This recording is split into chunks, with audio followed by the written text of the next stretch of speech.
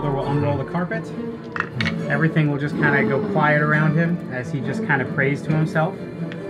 And then he's just going to say, Jean, you better be right about this. and he's just going to run his 40 feet. And he will misty step right to the guy and grapple him with the carpet. Oh! He will just launch right at him and grab him with the Okay. carpet. Roll, roll me a grapple check, if you will.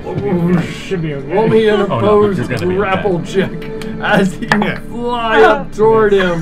Use the use the chip.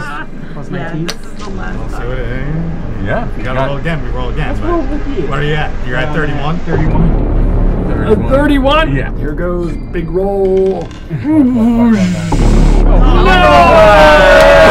So I just launch into the air and just grab him with You this carpet.